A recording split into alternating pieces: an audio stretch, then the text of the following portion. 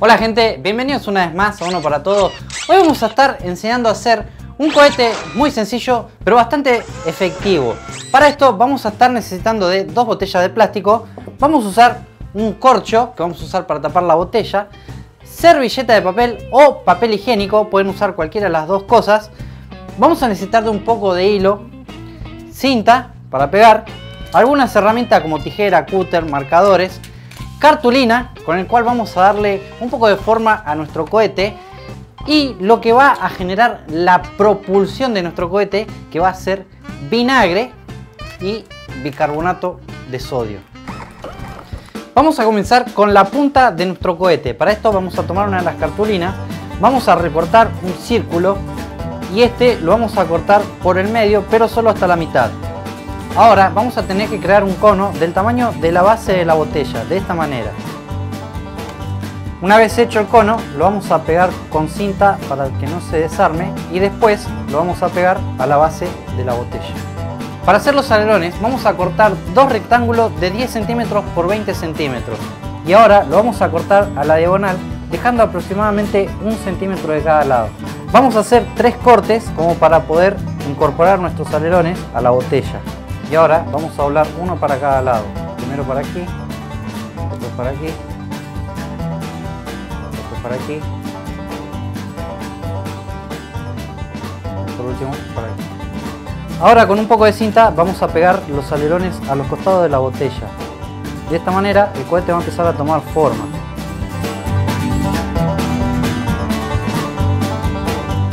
Así nos estaría quedando nuestro cohete terminado, pero de esta manera no se sostiene.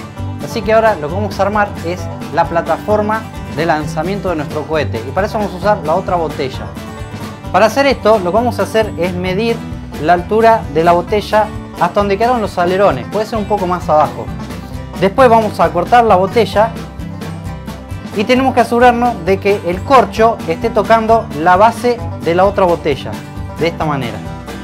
Lo que sería el cohete ya está terminado. Tenemos la base de lanzamiento, tenemos el cohete, pero ahora estaría faltando la propulsión de nuestro cohete. Y para eso vamos a usar el bicarbonato y el vinagre. Vamos a poner aproximadamente 3 dedos de vinagre dentro de nuestro cohete. Después vamos a tomar la servilleta, vamos a poner unas 3 cucharadas de bicarbonato de sodio, la vamos a envolver y la vamos a atar con el hilo. El próximo paso sería colocar esta cápsula que acabamos de hacer con mucho cuidado dentro de nuestro cohete. Y después vamos a tomar el corcho y vamos a dejar colgando la cápsula sostenida con el corcho, de esta manera. Ya tenemos todo nuestro cohete preparado para la ignición. Si lo llevamos a dar vuelta ahora, el vinagre entra en contacto con el bicarbonato, se va a producir la reacción y se va a disparar. No es lo que queremos, así que ahora vamos a salir y lo vamos a probar afuera. Ya estamos acá en la plaza, vamos a ver si funciona.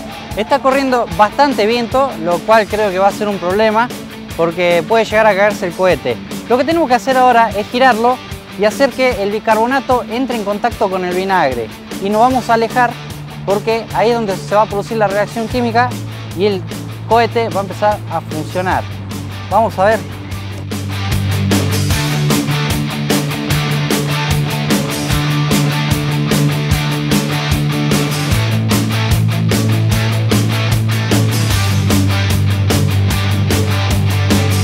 Y ahora es cuando te vamos a explicar qué es lo que sucedió aquí dentro del cohete para que se produzca la ignición.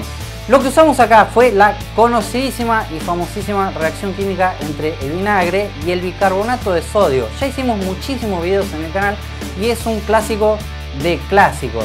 Lo que sucede es que cuando mezclamos estos dos elementos se empieza a crear gas carbónico. Es una reacción química que genera gas carbónico.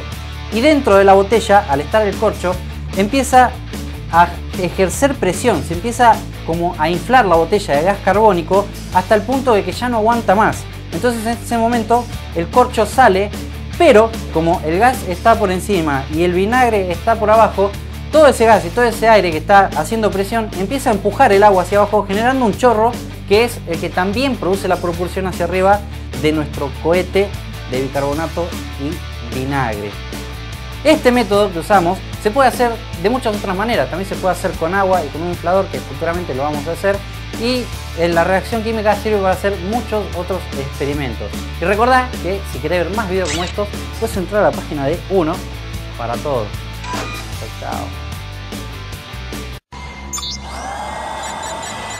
Antes de recomendarte los videos como te recomendamos siempre, los relacionados, quiero recomendarte un canal. Es el canal de Jorge Serra. Pasá, visítalo. El canal de Jorge, él es un escritor que se dedica también a contar cuentos y vas a encontrar todo tipo de géneros de cuentos, pero principalmente eh, estuve viendo y me llamó mucho la atención que tiene varias historias eh, de terror, realmente tétricas. Así que pasen por su canal. Y ahora sí, pasa también por este video que es la sustancia invisible que apaga el fuego. Es un video que hicimos usando esta misma reacción, lo puedes visitar acá arriba. Y si no, puedes ver también una lámpara de naftalina que también la hicimos generando la misma reacción. Te la dejo por acá abajo.